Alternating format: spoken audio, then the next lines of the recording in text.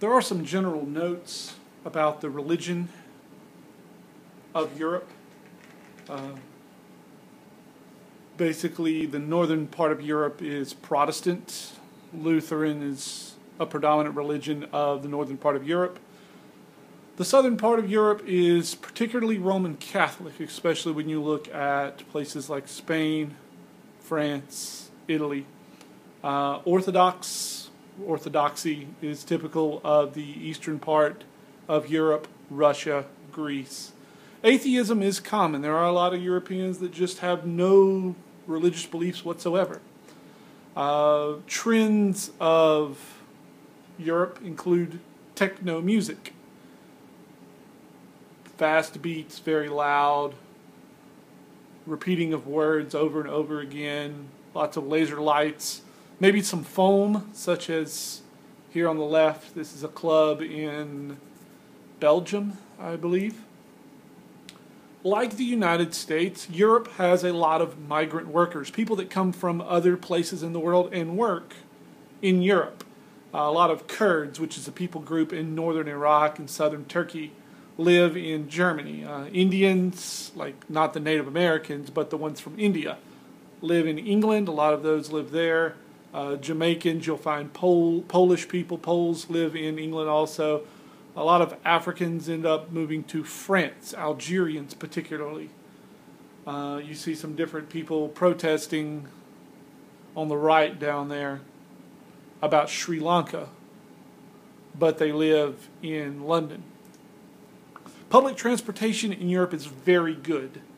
Uh, typically, you can find a bus or taxi uh, a lot of cities are walking cities. You could also travel them by bicycle, or you can do what's here. On the left, Paris is Tube. On the right, London's Underground. Two very popular subway systems. Just looking real quick at the economics of the whole deal, up at the top of this chart, we have the 10 richest countries in the world in 2011, measured by gross domestic product, the amount of money made in the country per year. And down at the bottom, if the size of the country was determined by gross domestic product, how much the country made in a year. As you can see, Luxembourg, right there on the bottom section on the left, Luxembourg has one of the highest GDPs of any country in the world. It has a lot of banks. Next to it, obviously, is Kuwait and Qatar, which are two Arab nations.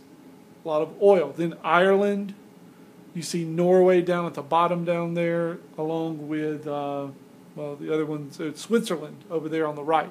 These are all European countries that make a lot of money per person or in the country as a whole. The lingua franca or language of business of Europe is English. This sign right here is in Switzerland. And as you can see, it's in German, it's in French, it's in Italian, and finally in English. And if you go to Switzerland, the of the four official languages of Switzerland, three of them are German, French, and Italian. The fourth is actually Romanish. But English, you see this sign is in English, and a lot of people in Europe speak multiple languages, among them English, because it is the language of business. Bicycling is a massive hobby in Europe, and a lot of cities have bicycle parks just like this, where you can park your bicycle like you would a garage in any major city here in the U.S. Arts and museums are massive throughout Europe. Every city has its own particular art museum that uh, displays art from the local artists throughout history. This one is in Madrid, Spain. Music is another big, popular cultural phenomenon that goes throughout Europe. Here we have the Beatles on the left from England, and on the right is Beethoven, who's from Austria. One of the other trends of Europe is negative birth rates. So think of this chart like this. This charts children per couple. So if a couple, if a country is to maintain the same number of people that the country currently has, each couple has to have two children. As you can see, Germany, Japan, China, and France are all below the two children line. The United States is just above it. And the world as a whole has, from 1960 to 2009, declined from roughly five children per couple to about two and a half. So these countries like Japan and Germany are slowly losing population if you look at just the people that live in the country because the Germans and the Japanese are having less children than their ancestors were. So the population is declining due to the fact that less people are having children or they're having less children. Another big uh, phenomenon in economic geography is deindustrialization. You see this old factory here. This old factory used to make uh, guns or tanks or something, but over time, these factories have moved to other places in the world.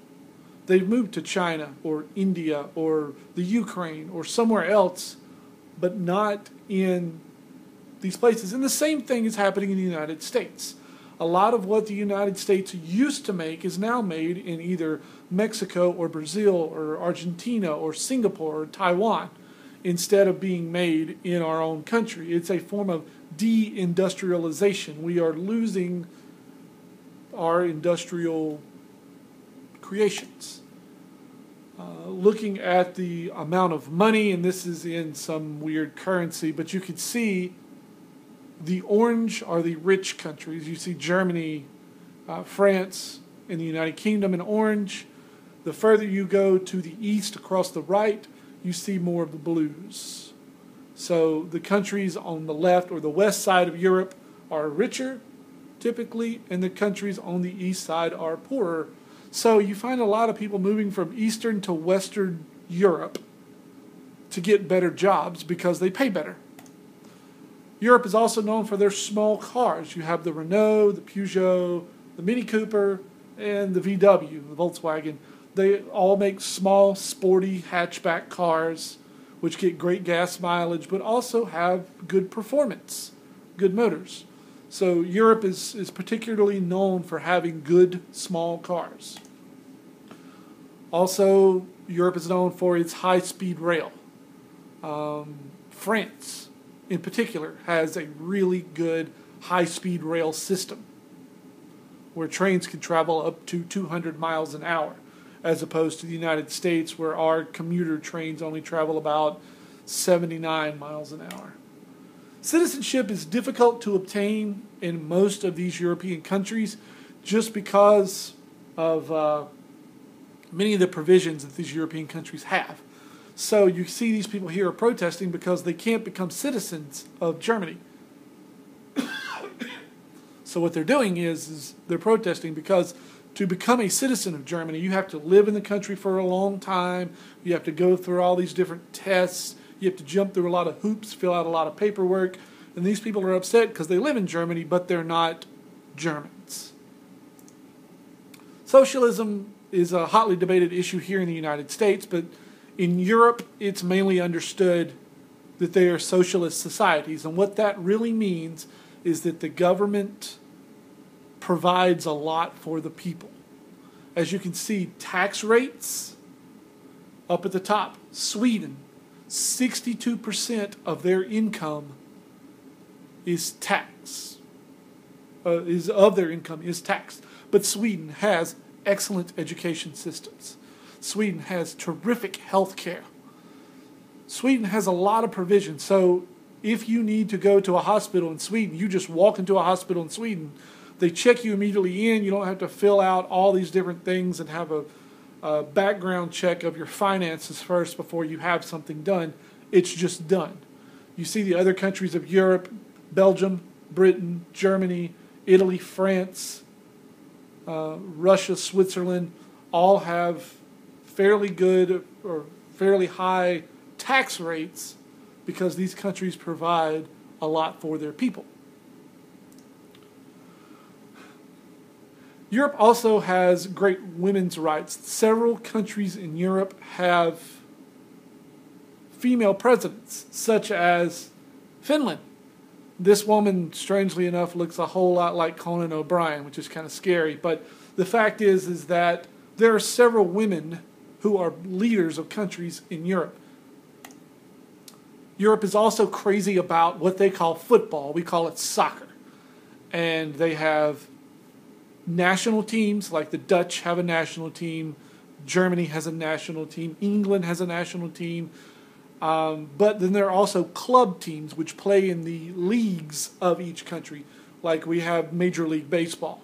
In Major League Baseball, they have several teams around that play in different cities. Same thing with Major League Football, I guess you could call it that.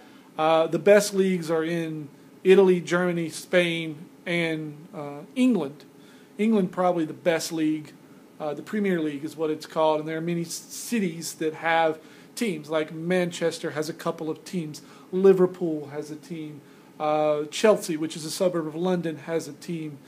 But there are multiple professional leagues and professional teams and they pack the stadiums out with 70 or 80,000 people. They have chants. It's a really big party. They usually dress in the colors of their team. Uh, hooliganism is a group fighting, and it sometimes happens when they follow their football teams.